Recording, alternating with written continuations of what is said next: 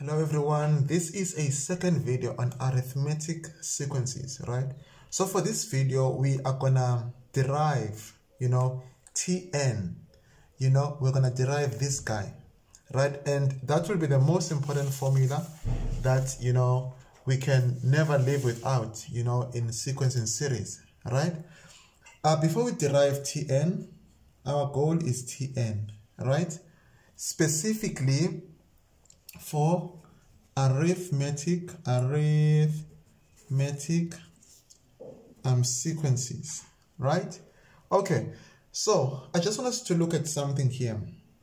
Let's say we've got the first term right? Term one you know? So term one we normally refer to term one as a right? So a is the first term. To get the second term um, we are gonna from a we're gonna add um, a constant value which is d. Um, that is that constant um, difference you know the common difference.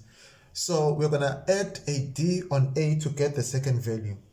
Let me just do an example on the side. Let's say um, um, the first term of a sequence was 1 for example you know and then d was 3 right? For example so i'm just going to do it here concurrently. So this is t1 t1 is equals to 1 right? To get t2 that is going to be 1 plus 3 right? So t2 will be 4 right? And then now guys to get t3 it's going to be a which is the first term plus d all of this is the second term this is the second term plus d, right? So, same applies here.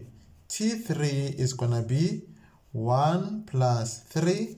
This is the second term um, plus 3. Then we have to find our value. So 1 plus 3 is 4 plus 3 is 7, right? So here, if we can just simplify this, it's going to be A plus 2D, right? Okay, let's look at the fourth term.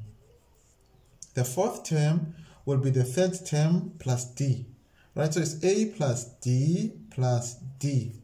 So this is term number 3, right? Then same applies here. T4 will equals to 1 plus 3 plus 3 right? So this is T3 plus another 3. You know what I'm saying? Um, sorry, here it's going to be A plus D. That is the second term. If I add another D, that's going to be the third term. Plus D. That is going to be the fourth term. Sorry about that. Okay, so 1 plus 3 is the second term. Plus 3 um, is the third term. Plus another 3, that is the fourth term. So 3 plus 3 plus 3 is 9 plus, uh, 1, that is 10. You know what I'm saying? So if we simplify this side, we're going to get A plus 3D. Right? Let's just, you know, find the third, I mean the fifth term. You know, uh, but I'm sure you guys can see what is happening here. You know, so the fifth term is going to be the fourth term plus D. So it's going to be A plus D, this is the second term, plus D, the third term, plus D, um, the fourth term, right? Plus D, that is the fifth term. And if we simplify it here, it's going to be what? It's going to be A plus 4D, right? Okay, then here now, T5 will equals to 1 plus 3, that's the second term, plus 3, um, the third term, plus 3, uh, the fourth term plus 3. Then that is going to be the fifth term, right? So that will be 13. However, now guys, if you look here at what is happening here, you know, this 5 and this 4 and this 3 and this 2, that is n, t, n is equals to. Let's look at the simplified um, expressions there. So it's always a plus something, right? So let's look at the coefficient of d here, right? So can you see? Okay, also here, let me get another color for the for the first term. Let me get another color so that you guys can see what in the world is going on here. Okay, let's look at the first term. Um, the first the first term, the coefficient there is a plus 0d. I trust you guys can see that. Um, in, in as much as you don't necessarily write it down, but it's a plus 0d, right? So the coefficient of d here is always this value minus 1, right? So um, 1 minus 1 is 0. 2 minus 1 is 1. There's a 1 there. 3 minus 1 is this 2 that is here. 4 minus 1 is this 3 that is here. 5 minus 1 is this 4 that is here. So the general term now, the nth term is going to be a, that is always there, uh, plus n minus 1 d, right? Um, you can also put d in brackets there.